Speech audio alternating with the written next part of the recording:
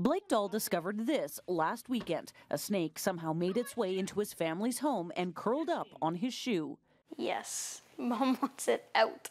When that wasn't happening fast enough, I volunteered to pick up the snake. That's how the snake wound up at Laura Anderson's. It's been a few years since I had a snake, so we just love having it around. Anderson's six year old son has since named it Dan the Snake. I heard him whisper to the glass, We'll be best friends.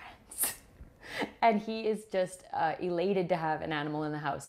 Anderson teaches a junior high career exploration class and says students look forward to hearing daily updates about Dan. It's gotten them to do a little bit of research too, which, of course, as a teacher, is a wonderful teachable moment. It's hard to tell by its markings what kind of snake it is, but its behavior so far seems to be like a bull snake. Having it in hand is the best way to do it because there are little details. Alberta Fish and Wildlife officers also believe it's a bull or gopher snake native to southern Alberta. It's not dangerous, but does require a permit to possess. These permits are typically given out to uh, institutions such as zoos or uh, other educational institutions. Officer Prodan says the problem is living in captivity makes the snake more vulnerable to health issues. In a lot of cases, once the novelty wears off, people will release these animals back into the wild again and inadvertently uh, jeopardize the population by releasing a snake that might be infested with parasites or carry diseases that the wild population wouldn't be able to deal with. Anderson plans to have fish and wildlife officers officially identify the snake, saying she'll understand if Dan has to go.